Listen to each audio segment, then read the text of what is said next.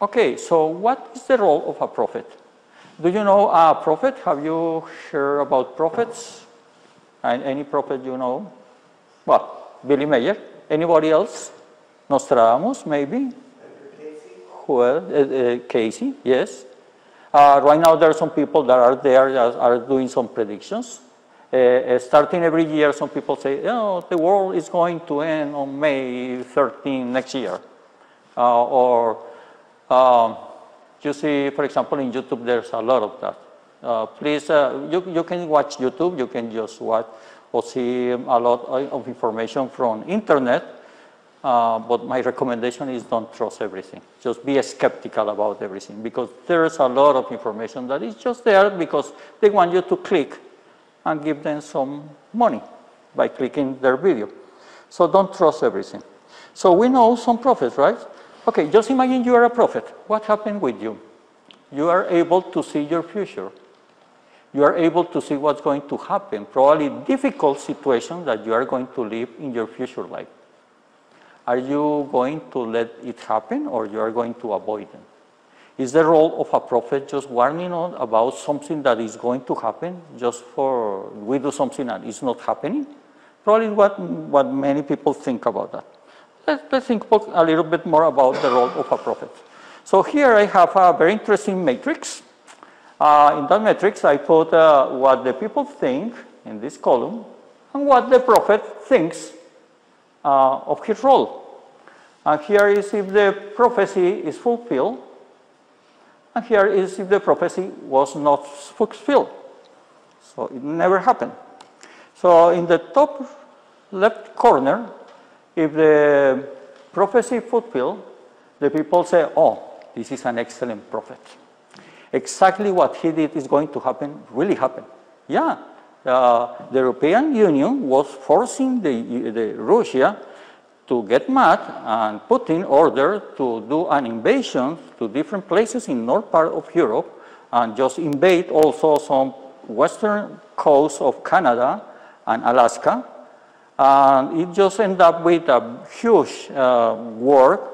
Uh, there were atomic bombs launched from one place to another one.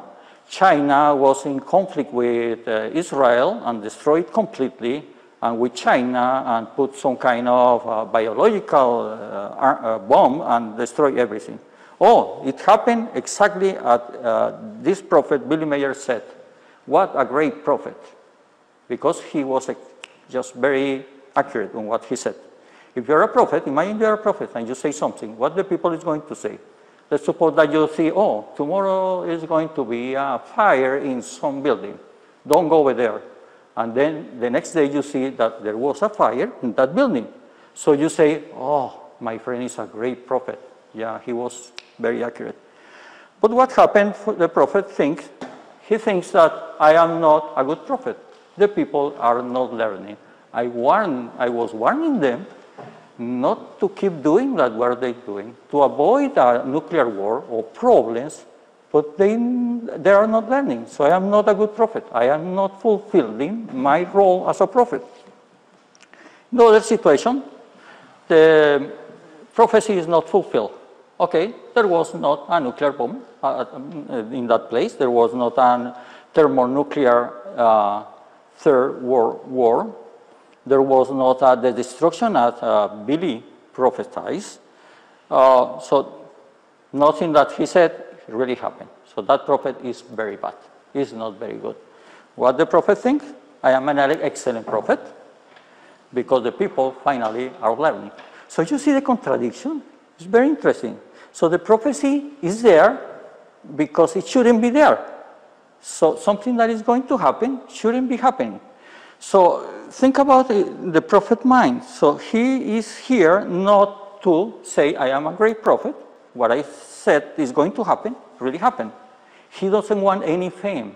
He doesn't want to be known as a very accurate on his prediction.